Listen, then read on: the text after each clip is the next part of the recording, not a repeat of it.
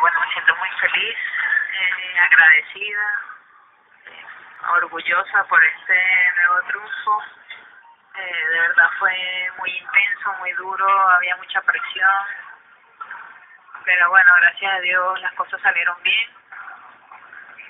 Eh, bueno, ahora a empezar a, a trabajar en el entrenamiento para llegar en mejores condiciones de lo que llegué aquí y bueno, siempre le dedico mi triunfo a mi familia, que son el, el pilar fundamental para mí, a mi papá, a mi hermana, a todas las personas que me han apoyado, entrenadores, el psicólogo, eh, compañeros de, de, de camino, de ping-pong, y, por supuesto que mi mamá, que siempre me ayuda, ¿no? Por supuesto.